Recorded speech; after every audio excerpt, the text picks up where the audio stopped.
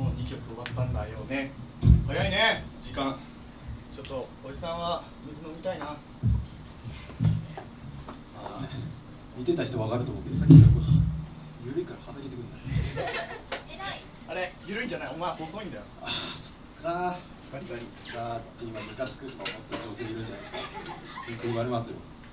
マジムカつく。え女性の敵。違でもお前女だっけ？うよ。違うよね。まあいいや。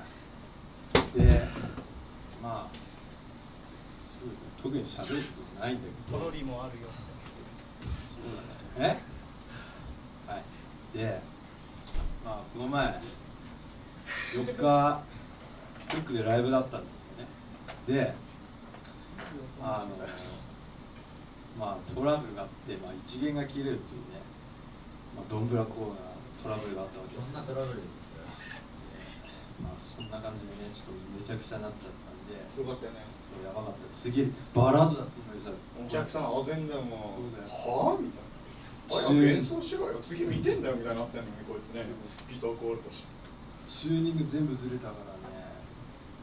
バラードしようにもなくってもう。4曲目の一番最後の曲やっちゃって終わっちゃったんだけど。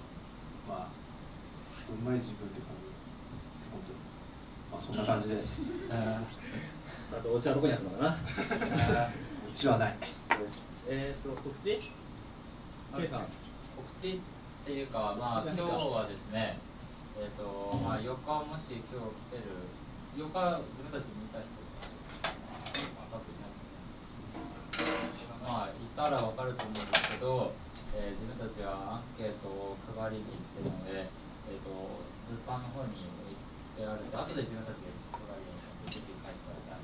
あと、今日は、えー物販に、えーチェキを用意したんで、まあ、よできればやってほしいな。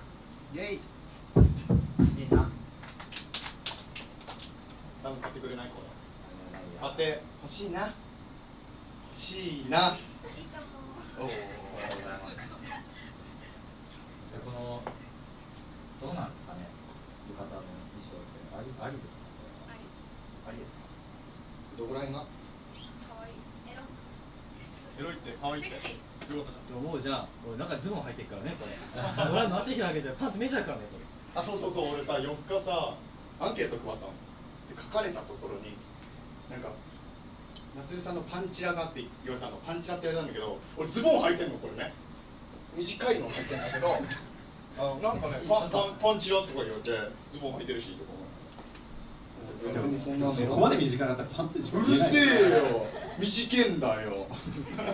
どんな切り方やまあ熱 い熱い滴るいいんじゃないですか MC 苦手だから次行っちゃいますか？もう行くの？行くの？じゃあラスト。ラストラスト。よラストラストじゃない。3曲目じゃん。じゃあバラーディング。バラードです。はい。すみません。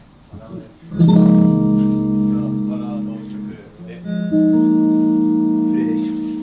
ま